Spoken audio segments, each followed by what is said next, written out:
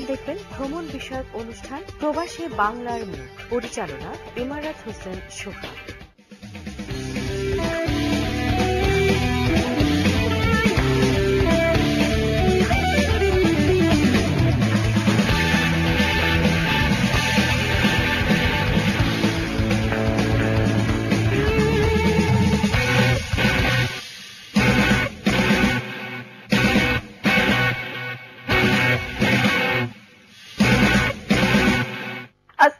আলাইকুম।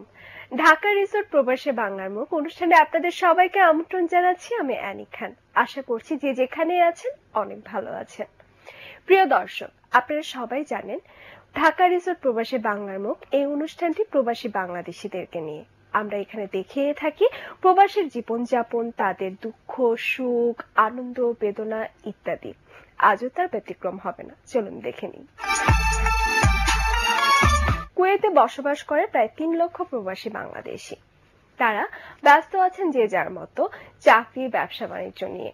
পিছপা হয়ে নেই প্রবাসী গৃহিণীরাও। তাদের অবসর সময় কাটানোর জন্য এবং আর্থিকভাবে আরও সচ্ছল হওয়ার জন্য তারাও বিভিন্ন কাজকর্মে নিজেদেরকে সংযুক্ত করেছেন। কাজের পাশাপাশি তারা বিভিন্ন সাংস্কৃতিক অনুষ্ঠানেও অংশগ্রহণ করে। চলুন দেখে আসি তেমনি দুটি পরিবার। কুয়েতে আছে প্রায় তিন লক্ষ প্রবাসী বাংলাদেশি। এদের সবাই যে যার মতো কাজকর্ম, ব্যবসা বাণিজ্য নিয়ে প্রবাস জীবনে অতিবাহিত করছেন। সপরিবারে অবস্থানরত প্রবাসীদের গৃহিণীরা স্বামী, সংসার দেখার পাশাপাশি সংসারে আলাদা একটু সচ্ছলতা আনতে অথবা অবসর সময় কাটাতে কর্মজীবনে পা রাখেন। সাথী চৌধুরী, আমেনা আক্তার সহ আরও অসংখ্য কুয়েত প্রবাসী গৃহিণী কর্মজীবন বেছে নিয়েছেন। কুয়েত প্রবাসী সাথী চৌধুরী এবং আমেনা আক্তার ও তাদের স্বামীদের সাথে কথা বলে জানা যায় পরিবর্তনের এই ইতিকথা। আমরা যখন দেশে যাই, দেশে যাওয়ার পরও আমাকে হঠাৎ করে বলে যে, আমি আর যাব না। আমি ওখানে বোরিং হচ্ছি, আমি আর যাব না। তো জিজ্ঞেস করলাম, কেন যাব না? বললেন, আমি আর যাব না। তো আমি চলে আসি একা। আমার অ্যাকচুয়ালি টিকিট করা ছিল। তো পনেরো দিন পরে আবার চলে আসে।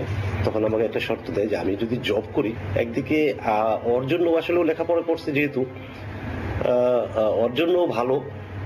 ওর মানুষের সাথে অনেকের সাথে মিশতে পারে, কথা বলতে পারে। এবং আমাকেও সাংসারিক ভাবেও অনেকটা সাহায্য করে। আমি একে আরিফ একজন নারী সে যদি পুরুষের পাশাপাশি থেকে সংসারের কাজকর্ম করে এবং সমস্ত কিছু ছেলে মেয়েদের দেখাশোনা করে, সে একটা, যদি একটা জব করে তার মানে মন এবং মনস্কে যদি সে ঠিক রেখে চলতে পারে, তা আমার কোনো বাধা নেই। ভাষা না জানা কোনো কাজে অনভিজ্ঞ সাথী এখন একজন দক্ষ কর্মী। কুয়েতে স্বনামধন্য কোম্পানি আল গানিম এর ফার্মাসিউটিক্যাল ডিপার্টমেন্টের সহকারী ফার্মাসিস্ট হিসেবে একমাত্র বাংলাদেশি মহিলা সাথী চৌধুরী কাজ করছেন প্রায় দশ বছর। দশ বছরের অভিজ্ঞতার পাশাপাশি অভিজ্ঞতার খাতায় যোগ করলেন ট্রাভেল এজেন্সি পরিচালনার কর্মদক্ষতা। বর্তমানে কেপিকো ট্রাভেল এজেন্সিতে তিনি কর্মরত আছেন। বড় মেয়ে কানাডায় উচ্চশিক্ষার জন্য একটি বিশ্ববিদ্যালয়ে লেখাপড়া করছেন। ছোট ছেলে কুয়েতে ব্রিটিশ স্কুলে অধ্যয়নরত। স্বামী সহ এক মেয়ে, এক ছেলে ছোট্ট সংসার নিয়ে সুখেই আছেন তিনি। আমার যে চাহিদাগুলো থাকে সবসময় হাজবেন্ডকে বলা যে এটা লাগছে ওটা লাগছে এই জিনিসটা যেন না হয়। প্লাস আমার অনেক সময় ইচ্ছা করে আমি আমার হাজবেন্ডকে গিফট করব বাচ্চাদেরকে গিফট করব আমি আমার ঘরের জন্য কিছু করব যেটা নাকি সারপ্রাইজ সামথিং আমি অনেক হ্যাপি আমাদের রান্না বান্না আমরা করতেছি আমাদের সংসারও আমরা দেখতেছি বাচ্চাদেরও দেখতেছি প্লাস পার্টিগুলিও করতেছি। না অল টুগেদার আমরা কিন্তু মানে কোনোটা এমন না যে আমরা যারা জব করতেছি ওরা রান্না করে না ভাত দিতেছি ঘরের কোনো কিছু করতেছি না জাস্ট জব নো আমরা এই সমস্ত কিছু করতেছি মেনটেন করে দেন আবার জবটাও আমরা করতেছি। দ্যাট মিনস আমাদের মানে এইগুলো আমি এটা যদি করতে পারি তুমি যদি করতে পারো তার মানে আমরা সবাই পারি। করেছিলাম? আলগানিম মেডিসিন ডিপার্টমেন্টে একদম ফার্মাসিতে ফার্মাসিতে ছিলাম আমি ওখানে। কিছুই আমার জানা ছিল না এবং আমার আমার ভাষাগত হ্যাঁ একটু প্রবলেম হয়েছে আমার যেহেতু এখানে মেন হচ্ছে যে আরবিকটা তো আমি একেবারেই জানি না। এবং ইংলিশ যেটা সেটা হচ্ছে আমার বাংলা মিডিয়ামে আমি স্টাডি করেছি। যার জন্য ইংলিশটা আমরা না। আমার এরকম ছিল না। তো যার জন্য একটু তো সময় লাগছে আমার। বাট আমি যাদের সাথে আমার কলিগ যারা ছিল সবাই আরবি mostly they was not talking Arabic so ওরা ম্যাক্সিমাম ওরা ইংলিশেই কথা বলতো ইংলিশে ওদের ইয়ে ছিল। তো যার জন্য আমার মানে ইজি হয়ে গেছে বা হইতে হইতে হয়ে গেছে। এটা সবার জন্যই।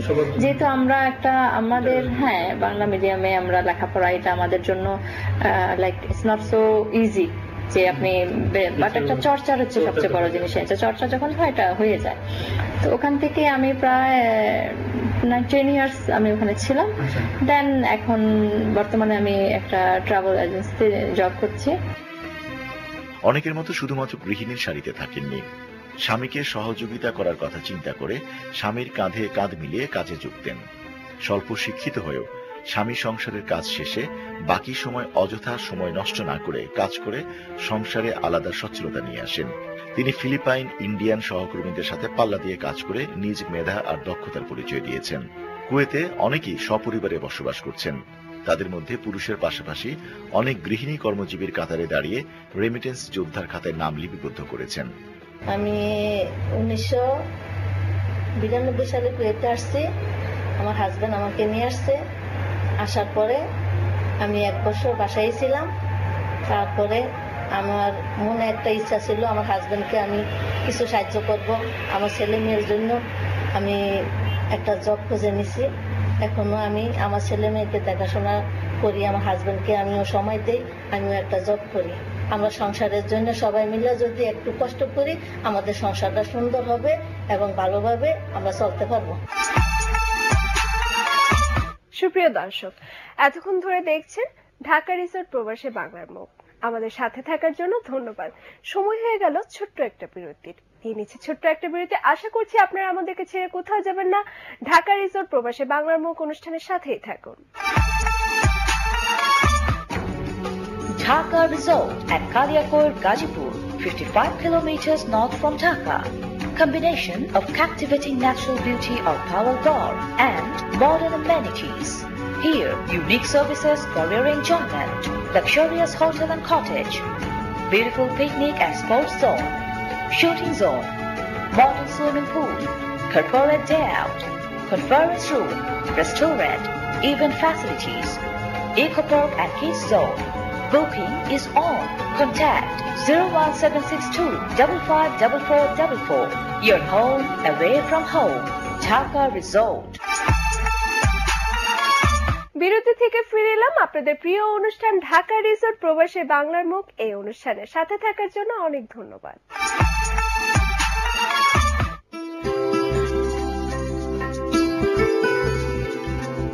বিশ্বের একশো ছিয়াত্তরটি দেশে প্রায় এক কোটিরও বেশি বাংলাদেশি রয়েছে, যাদের পাঠানো রেমিটেন্সে দেশের অর্থনৈতিক গতিকে সচল রাখছে। তবে সাম্প্রতিক অর্থ বছরে প্রবাসীদের পাঠানো রেমিটেন্সের গতি অনেকটা কমেছে বলে জানিয়েছে বাংলাদেশ ব্যাংক।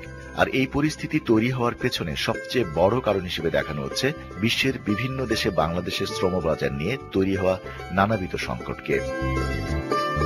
তবে মধ্যপ্রাচ্যে বাংলাদেশের সবচেয়ে বড় শ্রমবাজার সৌদি আরব সহ কুয়েত, সংযুক্ত আরব আমিরাত বাহরাইন ও ওমানে বাংলাদেশি শ্রমিকদের নিয়ে নানা ধরনের জটিলতা তৈরি হয়েছে। যার কারণে হয়তো রেমিটেন্স প্রবাহে সবচেয়ে বেশি ধস নেমেছে এই বছর।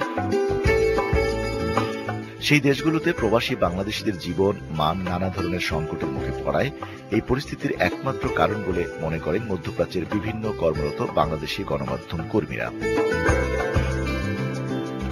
বাংলাদেশ ব্যাংকের বৈদেশিক মুদ্রা নীতি বিভাগের হালনাগাদ প্রতিবেদনে বলা হয়েছে দু হাজার ষোলো সতেরো অর্থ বছরে প্রবাসীরা দেশে মোট এক হাজার দুশো ছিয়াত্তর কোটি চুরানব্বই লাখ ডলারের সমপরিমাণ অর্থ পাঠিয়েছেন, যা আগের দু হাজার পনেরো ষোলো অর্থ বছরে ছিল এক হাজার চারশো বিরানব্বই কোটি বাষট্টি লাখ মার্কিন ডলার। সেই হিসেবে গত অর্থ বছরে রেমিটেন্স কমেছে দুশো ষোলো কোটি সতেরো লাখ ডলার বা চোদ্দ দশমিক চার সাত শতাংশ। অবৈধ ও অদক্ষ শ্রমিক, রাজনৈতিক অস্থিরতা, জনশক্তি রপ্তানিতে ভাটা এবং আন্তর্জাতিক বাজারে জ্বালানি তেলের মূল্য হ্রাসের কারণে এমনটি হয়েছে বলে ধারণা সংশ্লিষ্টদের। প্রবাসী আয়ের প্রায় পঁচিশ শতাংশই আসে সৌদি আরব থেকে। গত অর্থ বছরে সেখান থেকে রেমিটেন্স প্রবাহ সবচেয়ে বেশি কমেছে। বাংলাদেশের রিমিটেন্স কমার কারণ হচ্ছে আসলে এখানে সৌদি আরবের সবচেয়ে বড় রিমিটেন্সের বাজার ছিল সৌদি আরব। কিন্তু আজকের এই সৌদি আরবের অবস্থার পরিপ্রেক্ষিতে সৌদি আরবে অনেক বেকার, সমস্যা এবং কাজে যারা কাজে আছেন তাদের অনেকেই অনেকেই বেতন পাচ্ছেন না, অনেকেরই অনেক কিছু সমস্যা। এখানে এমন একটা সমস্যা, এই সমস্যা জর্জরিত হয়ে হয়ে যাওয়াতে আগের যে রিমিটেন্স সেই রিমিটেন্স থেকে অনেকটা সরে এসেছে বাংলাদেশের রিমিটেন্স দেশটিতে থাকা প্রায় লক্ষাধিক শ্রমিককে দেশে ফিরিয়ে নেওয়ায় প্রক্রিয়া এবং ভিসা সংক্রান্ত জটিলতায় বহু শ্রমিক কাজ করতে না পারায় এই পরিস্থিতি তৈরি হয়েছে বলে জানিয়েছে সংশ্লিষ্ট কর্তৃপক্ষ। রেমিটেন্স কমে যাওয়ার পেছনে মূলত তিনটা কারণ। সেটি হচ্ছে বিশ্বব্যাপী মন্দা, দ্বিতীয় হচ্ছে কর্মসংস্থানের অভাব এবং আরেকটা হচ্ছে যে দক্ষতা। দক্ষ শ্রমিকের অভাব। আমাদের দেশের বা সরকারের যে সংস্থাগুলো, তারা শুধু শ্রমিক প্রেরণ করেই শুধু গুনতে থাকে কবে রেমিটেন্স আসবে। কিন্তু তারা এটা দেখে না যে একজন শ্রমিক এখানে আসার পরে সে কি কাজ পেয়েছে কিনা, সে ঠিকমতো কাজ করতে পারছে কিনা বা কাজ করলে বেতন পাচ্ছে কিনা এইসব বিষয়ে আসলে দেখার কেউ নাই। আমার পরামর্শ হচ্ছে যে শ্রমিক পাশা পাঠানোর পাশাপাশি যদি এই সংস্থাগুলো বা সরকারের তরফ থেকে মনিটরিং করা হয় যে শ্রমিক আমি যাকে পাঠালাম, সে ওইখানে গিয়ে কি ঠিক মতো কাজ করতে পারছে কিনা বা যেই কাজে গেছে সেই কাজকে সে পেয়েছে কিনা, নাকি বেকার জীবনযাপন করতেছে।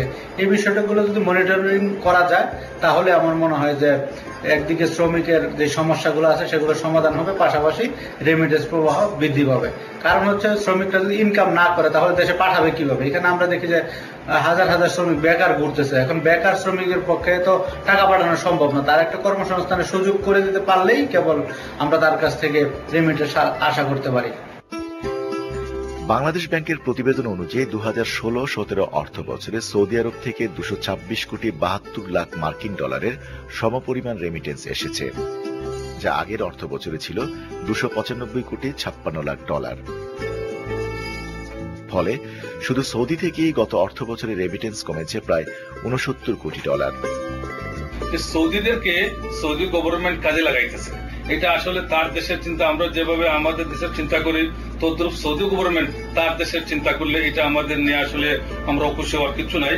কিন্তু সেই কারণে আমাদের অনেক প্রবাসীদের চাকরি হারাইতে হচ্ছে। অনেক সৌদিরা এখন বর্তমানে পুরুষ, মহিলা সহ চাকরিতে ঢুকতেছে বিভিন্ন পুষ্টে আর সেখান থেকে প্রবাসীরা আস্তে আস্তে যার যে দেশে ব্যাক করতে হইতেছে।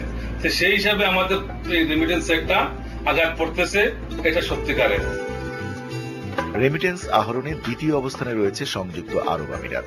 গত অর্থ বছরে দেশটি থেকে দুশো ন কোটি পঁয়ত্রিশ লাখ ডলার রেমিটেন্স এসেছে, যা দু হাজার পনেরো ষোলো অর্থ বছরে ছিল দুশো একাত্তর কোটি সতেরো লাখ ডলার। সেই হিসেবে গত অর্থ বছরে আরব আমিরাত থেকে রেমিটেন্স কমেছে একষট্টি কোটি বিরাশি লাখ ডলার। সংযুক্ত আরব আমিরাতে রেমিটেন্স কমার কয়েকটা কারণ হতে পারে। তন্মধ্যে উল্লেখযোগ্য কারণ হচ্ছে, সংযুক্ত আরব আমিরাতের দীর্ঘ পাঁচ বছর যাবৎ ভিসা বন্ধ। বাংলাদেশে কোনো প্রবাসী ইন করতে পারছে না প্রতিনিয়ত আউট হচ্ছে, যার কারণে রেমিটেন্স পাওয়া দিন দিন কমছে। আরেকটা উল্লেখযোগ্য কারণ হচ্ছে যে ব্যাংকিং সেবা মাধ্যমে যদি বৈধ শ্রেণির টাকা পাঠাতে যায় তাহলে হয় কি অনেক হয়রানির সম্মুখীন হতে হয়। আর একটু রেটটা কম পায়, আর দেখা গেল কি একটা মরার উপর খাড়ার গা বারো দেড়হামের একটা নেয় ব্যাংকে যার কারণে অনেকে বৈধ শ্রেণি না দিয়ে অবৈধ পথে ঢুকছে বেশি। অনেকেই দূরে বাগানে অথবা অনেক দূরে মরু এলাকায় বসবাস করে, ওখান থেকে হুন্ডিওয়ালারা কি করে? জায়গায় জায়গায় স্থানে স্থানে গিয়ে টাকা কালেকশন করে। কিন্তু ব্যাংকে বৈধ শ্রেণীগুলো তো ওখানে যাচ্ছে না। যার কারণে ওরা যেখানে সহজ পাচ্ছে একটু অতিরিক্ত টাকা পাচ্ছে আর সহজেই টাকাটা তাদের পরিবারের হাতে পৌঁছে দিচ্ছে। মধ্যপ্রাচ্যে এখন কর্মসংস্থান খুব একটা কম, দিন দিন কমে যাচ্ছে। যেমন তেলের বাজার একেবারে ডাউন তেল গোল্ড সবগুলোতে একেবারে ডাউন যার কারণে অনেকটা এটা একটা প্রভাব পড়ছে বলে মনে করে অনেকেই কুয়েতেও মোটামুটি যে তেলের কারণে তেলের মূল্য হ্রাস পাওয়ার কারণে একটা এটা একটা বড় একটা এফেক্ট হয়েছে। এর ভিতরে আরও কিছু এফেক্ট আছে, এর ভিতরে মনে করেন আপনার যে অভিবাসন ব্যয়টা মোটামুটি অনেক, এখন অনেক বেশি। কারণ ওনাদের যে যে লোকজন আকামা নতুন নবায়ন করার আগে এগুলো ছিল না, কিছু এখন খরচ মোটামুটি প্রায় এক লক্ষ টাকার মতো খরচ এখন হয়, হচ্ছে। এখানে আরেকটা জিনিস, কারণ কুয়েতের মধ্যে, ম্যাক্সিমাম আপনার বেশিরভাগ লোক নিম্নয়ের শ্রমিক, যারা বাংলাদেশের পনেরো হাজার থেকে ষোলো হাজার টাকা স্যালারি পায়। তো ওই ক্ষেত্রে আপনার এক লক্ষ টাকা বছরে ইয়ে করা ওয়ান করা একটা বড় ধরনের একটা এফেক্ট আসে। আরেকটা জিনিস হলো তৃতীয়ত যে আপনার যে ভিসা ভিসা মূল্যটা খুব উচ্চ, প্রায় পাঁচ থেকে সাত লক্ষ টাকা ভিসা বাংলাদেশ যাচ্ছে, যারা যেটা আপনার বড় একটা অঙ্ক এখানকে পেমেন্ট করতে হয়। ওই টাকাটা আপনার হুন্ডির মাধ্যমে এখানে ইয়ে হয় ট্রান্সফার হয়। হুন্ডিও বড় একটা কারণ যে রেমিটেন্স হ্রাস করার কারণে। আমাদের ওমানে তেলের দামটা আন্তর্জাতিক বাজারে কমে যাওয়াতে এখানে মূলত অনেক বড় একটা ইফেক্ট করছে, সেটা হচ্ছে ওমানে আসলে তো তেল ছাড়া এখানে বাইরের কোনো আপনার কলকারখানা ইন্ডাস্ট্রি বা এই ধরনের কোনো কিছু ওখানে নাই। সম্পূর্ণ ডিপেন্ড আপনার তেলের উপরে। তো তেলের দামটা যখনই কমে গেছে, তখনই এটা অনেক বড় একটা ইফেক্ট করছে। প্লাস এটা আপনার পাশাপাশি ওই ওমান গভর্নমেন্টের উপরে এটা অনেক বড় একটা ইফেক্ট করছে। পাশাপাশি এটা আমাদের বাঙালি যারা আছে, প্রায় সাত লাখের উপরে আমাদের বাঙালি ওমানে বসবাস করছে। তো এটা আমাদের বাঙালিদের উপর অনেক বড় একটা ইফেক্ট করছে। এখানে হুন্ডি এবং বিকাশের মাধ্যমে অনেক টাকা যাচ্ছে। তাই আমি মনে করি যে এখানে বাংলাদেশের রেমিটেন্সের একটা প্রভাব পড়ছে, যার দরুন রেমিটেন্স কম হচ্ছে। কিন্তু এই রেমিটেন্স ধস রোধের কি কোনো উপায় নেই? বাংলাদেশ পরিসংখ্যান ব্যুরোর এক জরিপ প্রতিবেদনে দেখানো হয়েছে দু সালে মোট প্রবাসী আয়ের উনপঞ্চাশ দশমিক দুই আট শতাংশই, অর্থাৎ প্রায় অর্ধেক পরিমাণ এসেছে ব্যাংকিং চ্যানেলের বাইরে। রেমিটেন্সটা মানুষ ব্যাংকিং চ্যানেলে পাঠাইতে গেলে পাইতে মাসে একটু কষ্ট হয়। প্রাইভেট ভাবে সার্ভিস করে, তারা প্রায় চব্বিশ ঘন্টাই আপনার এই রেমিটেন্সকে ডেলিভারি দিতে পারে। তো ব্যাংক তার টাইম টেবিল ছাড়া পারে না। বাংলাদেশ সহ একটা চিন্তা করে যে বিকাশের মতো কোনো একটা ব্যবস্থা ব্যাংকিং দেরকে শুধু রেমিটেন্সের বেলায় একটা কিছু করতে পারে, তাহলে মানুষ বিকাশ বা অন্য পথে না গিয়ে মানুষ ব্যাংকিং চ্যানেলে টাকা পাঠাবে, এটা এখানে হান্ড্রেড পার্সেন্ট বৈধ পথে প্রবাসীদের টাকা পাঠাতে হলে আগে নিশ্চিত করতে হবে বিদেশে তারা বৈধ কিনা। কেননা, বেশিরভাগ অবৈধ প্রবাসী বা শ্রমিক যারা হুন্ডির মাধ্যমে টাকা পাঠানো সবচেয়ে বেশি স্বাচ্ছন্দ্য বোধ করেন, অশিক্ষিত অদক্ষ শ্রমিকদের বড় একটি অংশ ব্যাংক কিংবা সরকারি কোনো পন্থাকে বেশি ঝামেলাপূর্ণ মনে করে। এছাড়া বিশ্বের বিভিন্ন দেশে বাংলাদেশের শ্রমিক শ্রমিক নিয়োগের প্রক্রিয়া এবং অবৈধ শ্রমিক নিয়ে যে সংকট তৈরি হয়েছে, তা মূলত রেমিটেন্সে এক ধরনের প্রভাব ফেলেছে বলে মনে করেন সংশ্লিষ্ট মহল এবং কর্তৃপক্ষ।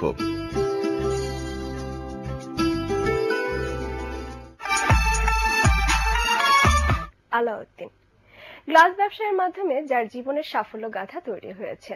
দর্শক সে তার ব্যবসা শুরু করেন দাম্মাম থেকে। সেই সাথে তার ব্যবসা ছড়িয়ে যায় সৌদি আরবের আল হাসায় চলুন কথা বলা যাক তার সাথে।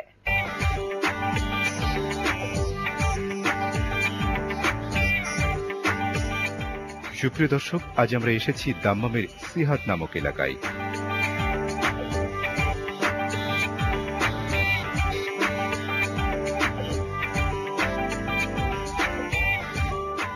এই এলাকাটিকে দাম্মামের শহরতলি বললে বোধহয় ভুল হবে না।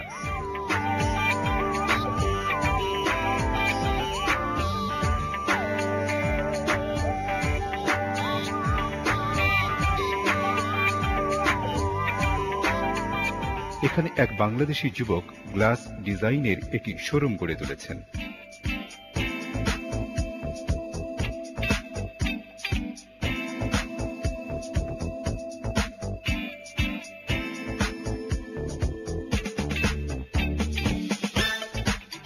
যুবকটির নাম আলাউদ্দিন গাজী।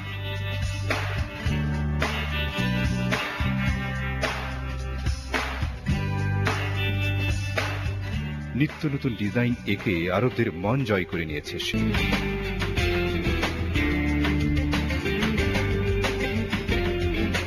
দাম্মামে সৌদি নাগরিকদের কাছে আলাউদ্দিন খুবই পরিচিত একটি নাম। বিশেষ করে গ্লাস ডিজাইনের জন্য।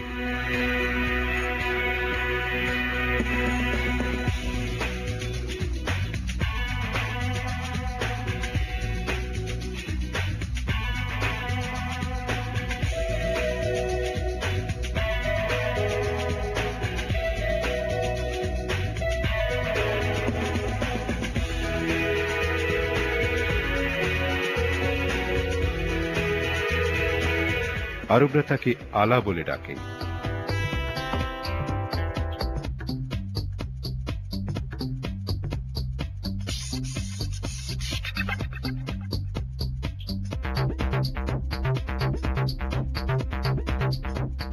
আমরা কথা বলি বাংলাদেশের এই বিস্ময়কর যুবক আলাউদ্দিনের সাথে। কি নাম আপনার? নাম? আলাউদ্দিন আবু সাইদ।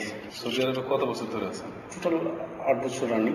ডিজাইনগুলি কি আপনি নিজেই করেন? এগুলো সম্পূর্ণ হাতে ড্রয়িং সম্পূর্ণ হাতে ড্রয়িং স্কেচ এবং computer sticker cutting all everything আপনার আপনি নিজেই হাতে কাটিং হয় হাতে আপনি। আপনি নিজেই এগুলো করেন আবার কাস্টমার ডিল করেন কীভাবে? এটা আসলে কি করব? ওই যে এটা আপনার এখন করতে হবে। লোকের সরকার আমি দেখেছি এখানে একটা অ্যাকাউন্টিং দরকার হয় একটা ড্রাইভার দরকার হবে একজন আপনার হেল্পার দরকার হবে। কিন্তু আসলে কি করব? এখন নিজে করতেছি দিন রাত মিলে যে আসলে আমার করে যেতে হবে রাজি। কিন্তু করার উপায় নেই। গ্লাসের উপরে আপনি কি কি কাজ করেন? কালারের মধ্যে কমসে কম পঞ্চাশটা আইটেম আছে কালার। গ্লাসটা সেম ডিজাইনের পঞ্চাশ আইটেম কাজটা করা যাবে তো আমাদেরকে দেখাবেন না আপনার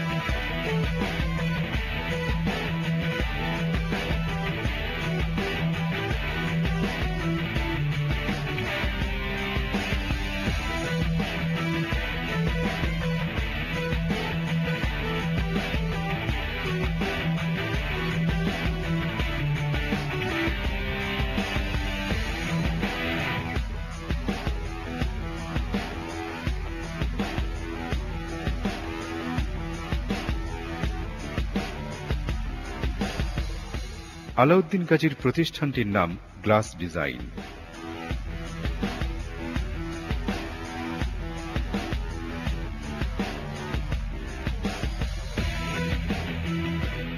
শোরুমের পাশেই তার ছোট একটি কারখানা।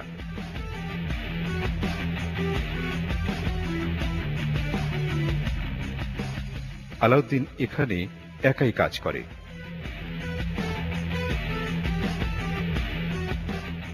অবশ্য তার দুজন সহকারী আছে। যারা তার বিভিন্ন কাজের যোগান দিয়ে থাকে।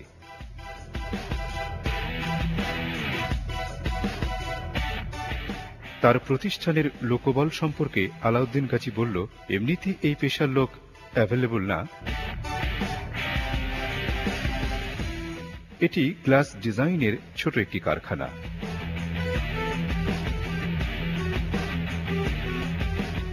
আলাউদ্দিন গাজীর একটা বিশেষত্ব হল, ডিজাইন থেকে শুরু করে পেইন্টিং পর্যন্ত সব কাজ খুব দ্রুততার সাথে সে করে থাকে।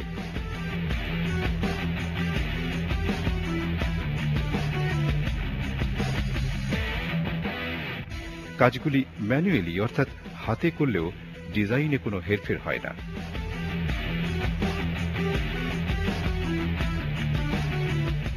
বাংলাদেশি যুবক আলাউদ্দিন গাজী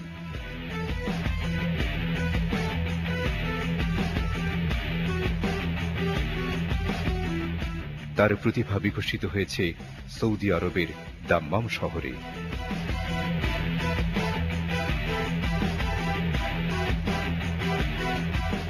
সম্পূর্ণ নিজের প্রচেষ্টায় সে এ পর্যন্ত এসেছে।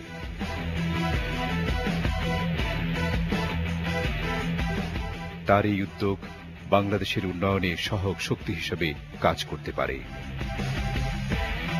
প্রয়োজন শুধু পৃষ্ঠপোষকতা।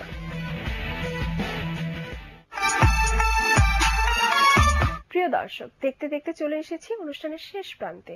এতক্ষণ ধরে যারা ঢাকা রিসোর্ট প্রবাসে বাংলার মুখ এই অনুষ্ঠানের সাথে ছিলেন, সবাইকে জানাচ্ছি ধন্যবাদ। আগামী অনুষ্ঠানে দেখার আমন্ত্রণ জানিয়ে আজকের মতো আমি আনি খান বিদায় নিচ্ছি। আল্লাহ হাফিজ।